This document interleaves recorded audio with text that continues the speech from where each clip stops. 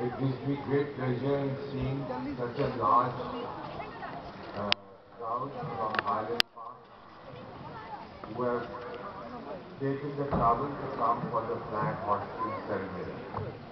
And I thank the organizers and the board of directors for having given me this honor to come and hoist the flag.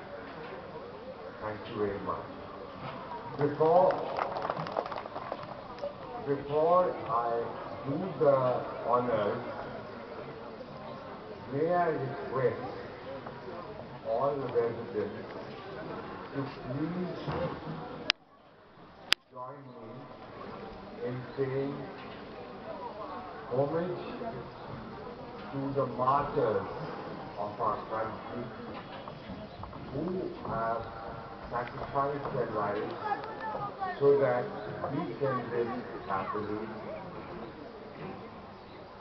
And when I say martyrs, it includes Army, Navy, uh, Air Force, and our civil police and civil, civil corporation.